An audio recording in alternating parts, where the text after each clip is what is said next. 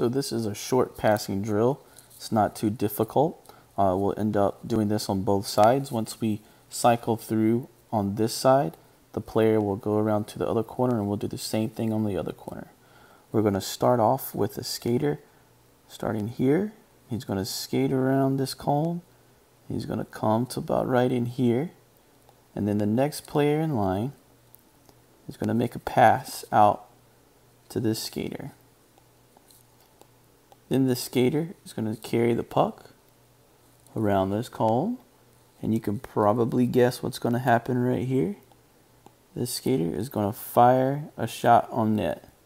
And once they fire a shot on net, you're just going to come over here and skate into this corner and wait for it, everyone to get through and cycle on this side and do the same thing on this side.